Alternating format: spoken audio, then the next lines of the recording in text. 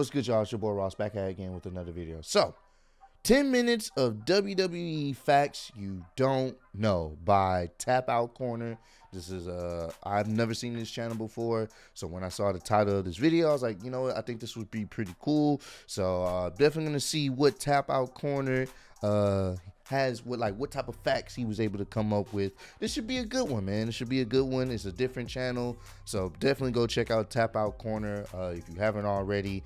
Um, and uh, I'm definitely gonna go subscribe to him because this is like a pretty good vid or whatnot. Uh, I, I love me some like facts I didn't know about a company or or a thing that I thought I knew a lot about. So hopefully there's some new facts about things I didn't know, and this should be a good one. But appreciate all the love and support you guys been showing on the channel, man. Uh, we're almost at 70k. You guys been running up the views, running up the likes, and running up the, the subscriptions. So thank you so much, man. And uh, let's get right into this video. Do you know why WWE always has the good guys on the left side of the ring during tag team matches? The reason is so viewers can see the emotions on the wrestlers' faces. Mm. Psychologically, people can better connect with someone when they can see their expressions. Okay, Did you know when a WWE wrestler wins Money in the Bank, they have to carry the briefcase with them everywhere they go, even when they aren't at shows. Oh. The reason for this is so that the wrestler can have the briefcase with them when they do media appearances. When CM Punk won the Money in the Bank, he actually started carrying his gear in the briefcase. Oh wow! Did you Didn't know, that? there's actually two to three versions of every championship in WWE? Each hmm. belt has one version that's only used on TV. It's purposely only used at televised events to prevent it from getting worn out and looking bad. There's also a second version of every WWE title belt that the champion carries with them wherever they go. Wrestlers will use this belt at autograph signings, media appearances, and even non-televised shows. For some championships, they also have a third version that's kept at WWE's headquarters in Stamford, Connecticut. This one is used for photo shoots and media. Another reason WWE always has two versions of every belt is so that if one gets lost, they will always have a backup. Wow, didn't know that. That's that's crazy. I know I knew that sometimes they, you know, a lot of times they would carry the belts with them, but I didn't know there was multiple versions for one for television use and one for uh um like maybe photo ops media use. I didn't know that. That's that's pretty interesting. The same thing with the money in the bank. I didn't know they actually took it with them wherever they went. That's pretty cool. Did you know? During a match between Big John Studd and Andre the Giant, Andre fell asleep. Big John Studd locked Andre in a front face lock and held it for about 8.5 minutes as he tried to wake his opponent. Apparently, Andre would sometimes fall asleep during matches due to a combination of drinking and travel fatigue. Oh wow. Did you know? In Chris Jericho's first ever wrestling match, his name was spelt wrong. The company he was working for forgot to include the H in Jericho. also, Y2J was originally a cowboy from Casper, Wyoming. Jericho hated the character and abandoned it soon after his first match. That's good. That's, Did that's you know good. the Shield was originally going to be Daniel Bryan, Big Show, and CM Punk? WWE wanted to give What? CM Punk some henchmen to protect him, since Punk was supposed to be a cowardly bad guy. Punk didn't like the idea and suggested they use guys who had never been seen by the fans before. It ultimately Hmm. turned into the Shield we all know, and that was that was good. That was awesome. That that worked out even better, man. Cause they, they them being in the shield catapulted them t- to huge heights. and in the storyline, the Shield is being paid by CM Punk and Paul Heyman to help Punk retain his WWE Championship. Did you know that when he was an active wrestler, WWE Hall of Famer Scott Hall, or Razor Ramon, refused to sign an autograph for a kid with cancer? Here's Wow. the full explanation. But these guys came to me with a camera crew and stuff. And the, the little kid was not present. I just don't want to be a part of this whole thing. Like, no, thank you. Yeah, and I didn't feel good. My defibrillator had fired early that earlier that day. Did you know? The Undertaker hates cucumbers. It's hard to believe considering his nickname is the Dead Man, but Undertaker simply can't stand them. One What? time, while at a restaurant, The Undertaker threw up because there was a cucumber in his drink. The Wow. Fellow wrestlers would also play pranks on him by putting cucumbers in his boots and hat. The strange part is that no one really seems to know why The Undertaker hates cucumbers. Out of all the people to hate cucumbers or something like that, it would be him. He's just the sight of a cucumber. Get it away! That's funny. so much. According to The Undertaker's manager, Paul Bearer, Undertaker's mother made him eat cucumbers when he was a kid, when The hmm. Undertaker didn't want to. Cucumber. I, I hate cucumbers. oh, he Did you legit know hates Jeff him. Hardy had his very first WWE match in 1994 against Razor Ramon? Damn. However, Hardy hated the match so much he didn't want to wrestle anymore after it was over. Two days later, Hardy had another match, this time with the 123 Kid, or X-Pac. He felt much better after that and decided to keep on wrestling. Wow. Jeff Hardy eventually got signed by WWE and became a decorated champion. Did you know? That's crazy. training at the WWE He has been wrestling that long. Oh, wow, that's insane, bruh. That is insane. To be wrestling that long and still be doing it or still able to do it, that's that's that's dope. The Performance Center, Sasha Banks came up with her boss character. The character is inspired by her cousin, Snoop Dogg. However, when she started using it, all the trainers and coaches hated it, except for one. Dusty Rhodes loved the boss character and told Sasha to keep using it. If Dusty hadn't been so positive, imagine where Sasha Banks' career would have gone. Rest in peace, Dusty, man. And uh, he saw something. He saw something in that character. And without, I'm gonna be honest, her having that gimmick works. It fits her. It makes sense. She comes off as braggadocious, arrogant, but she can back it up in the ring. And it's a dope character. I think a lot of people like Sasha, uh, Sasha Banks' character, preferably when she's a heel. She's much better as a heel, but she still has that swagger even when she's a face. So I think people have definitely enjoyed her boss gimmick. Did you know? It's really hard to earn Brock Lesnar's respect. Seth Rollins has wrestled Lesnar multiple times, but it took years before the Drip God was respected Drip by God. the Beast Incarnate. After the WrestleMania 35 match, Seth brought a pack of beer to Brock Lesnar's locker room. The two drank together and were able to connect on a personal level. Oh, According to Rollins, this is the moment that he earned Brock Lesnar's respect. Did you know? Okay. Shortly after the Shield debuted in 2012, they attacked Randy Orton after the Viper had a match. There was no rehearsal, so Orton was caught by surprise and became legitimately angry. He thought the Shield was trying to hurt him for real and vented his frustration backstage. Wow. was specifically mad at Dean Ambrose. After Orton had walked away, Triple H then told the Shield not to worry about it. Did you Wow. So he didn't know. he didn't know that was legit going on, bro. That's crazy. He thought he was legit getting jumped. that hey, but it makes for good television. If sometimes they uh, WWE they'll do that where like they won't tell the announcers certain spots are about to happen, so they can give their real, genuine, honest like reaction to it. And I think that's pretty cool. it just kind of kind of comes off a little bit, uh, I guess you could say extreme when you don't know what's happening and you end up just getting jumped. You're like, wait, what? This wasn't part of the script. What are you guys doing?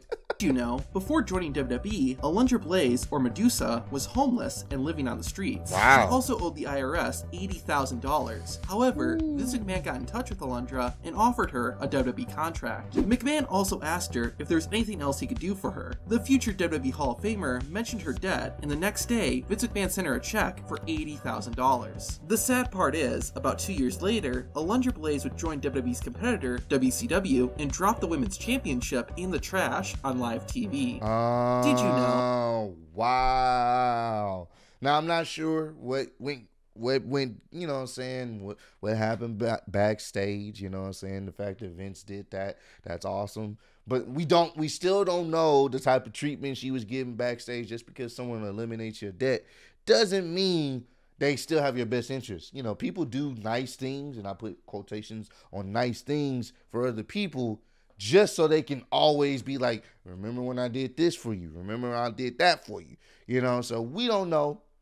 But that's that's that's one of the reasons why Vince was always just afraid of like putting champions on certain people because when they can end up leaving and do shit like that.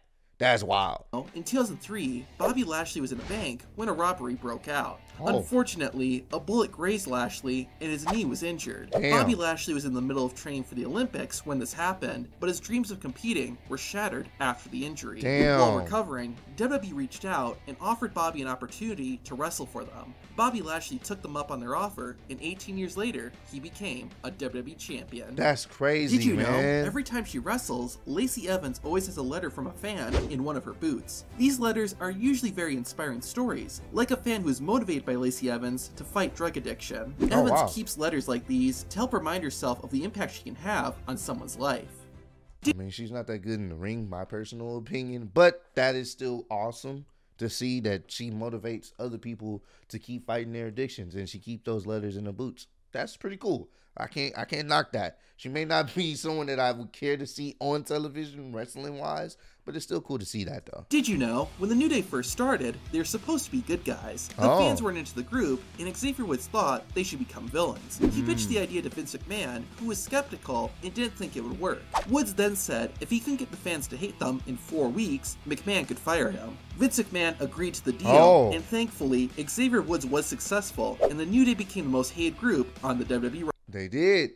They did. They were heels. That's a bold statement to say to Vince because he'll do it. He'll be like, yo, if I can't get them to hate me in four weeks, you can fire me.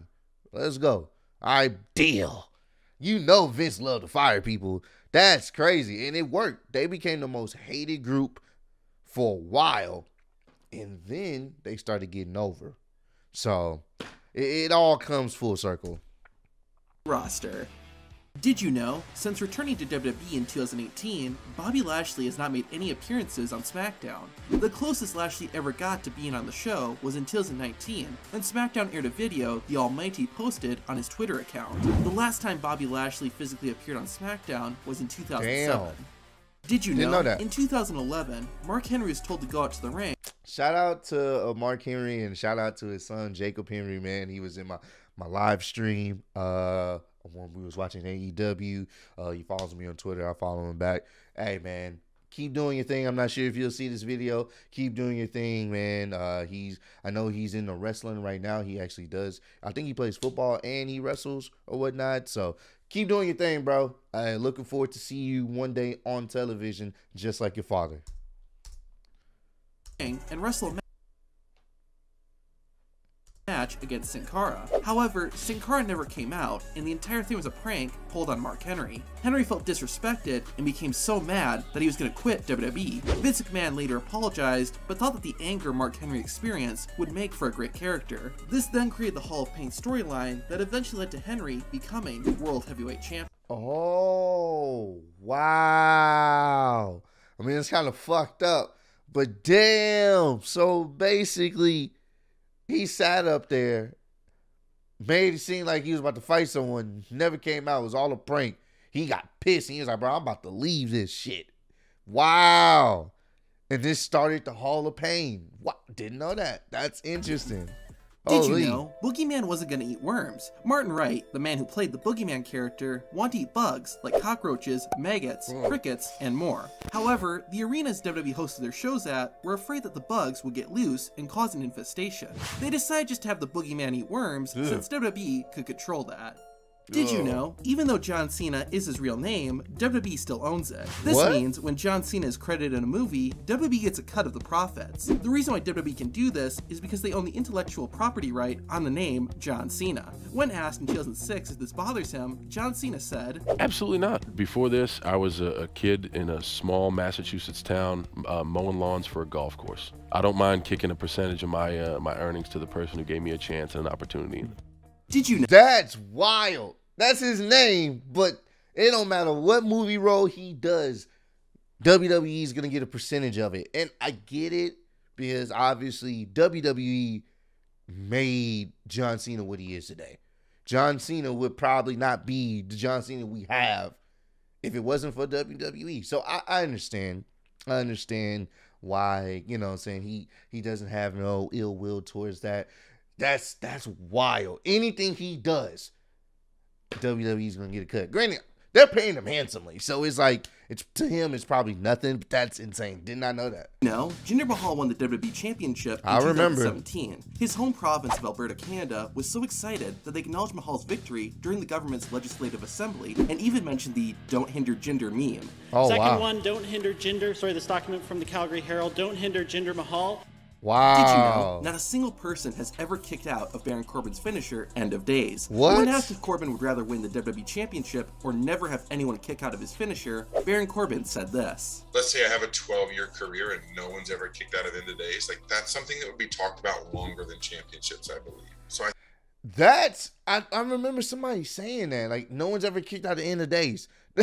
That's the most overprotected finishing move.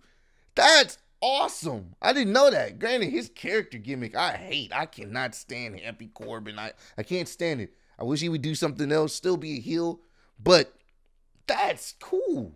Wow. You may not have no championships to show it, but you can say no one's ever kicked out of my move. So, like when it's hit, which honestly, most finishers should be like that. Once it's hit, it's over. But we're not going to get into that. I think I'd have to go with no one ever kicking out of end of days. Did you know, in 2006, Triple H and Shawn Michaels were part of a backstage segment where they made fun of John Laurinaitis. Direct from John Laurinaitis. That's right. And you guys are in direct violation. Fans wouldn't see John Laurinaitis or hear him talk until 2011, mm-hmm. meaning they wouldn't have gotten this joke until five years Yeah. yeah, because we didn't know who, who the fuck was John, as, except like people that were really into wrestling, like like knew the backstage stories and stuff like that. They really, really knew. So we wouldn't get this reference until years later. That's funny. after DX made it.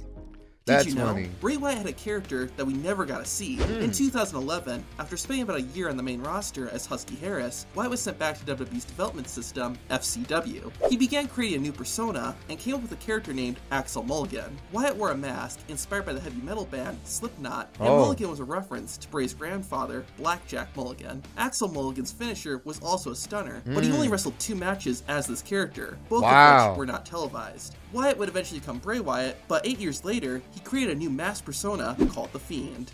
Did you know? And they still ruined him. WWE. Creative mind still ruined him. Hell, I'm sure he could have got that character over. To be honest with you, that's just ah man. Before they were signed by WWE, Jeff and Matt Hardy would be paid $150 per match. However, the Italian Stallion, the man who trained Jeff and Matt, took Wow. $100 as a booking fee. This left the Hardys with only $50 after every match. On top of that, Jeff and Matt also had to pay for their own travel expenses. There was also an incident where the Italian Stallion abandoned the Hardys and left them stranded when they were supposed to travel to a show. After that, the Hardys told WWE to call them directly if they ever wanted to use either Jeff or Matt. Not only did WWE do that, but they eventually offered the brothers full-time contracts, and the Hardys didn't have to give the Stallion a single penny. Awesome, man. That's scummy as hell, bro. Damn, what type of shit is that?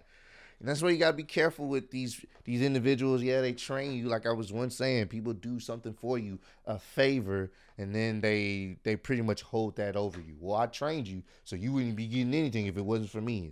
I hate people like that, bro. It, it's it's different when it's coming from the heart and genuine. Did you know, back when Randy Orton was a teenager, he was a fan of Goldberg. The Viper was such a big fan that when he turned 18, he wanted to get Goldberg's iconic tattoo on his arm. The tattoo artist told the young Orton that it wasn't a good idea to copy another person's tattoo. Yeah. Mm-hmm. Ultimately, Randy Orton got a similar tattoo to Goldberg's that still looked different enough. As Yeah. he got more popular, Randy Orton added more tattoos to make sure nobody thought he was wearing Goldberg's tattoo. Mm. He's tatted up though. Oh well, that's a weird way to end the video. No outro, nothing. But hey, I enjoyed this. This was cool. If you want me to check out some more Tap Out Corners vids, I definitely will. Y'all go subscribe to him. I'm already subscribed to him. Uh, definitely go check out his stuff. He got other wrestling related content or whatnot. I think you guys would like more on the informative side, and I like this. So this is a new channel I just happened to see in my recommended feed. So y'all go check out Tap Out Corner. Maybe some of you guys are already subscribed to him or whatnot. But uh, appreciate all the love and support, man. You guys been showing. And comment down below. Let me know what interesting facts did you not know um, that you found out in this video.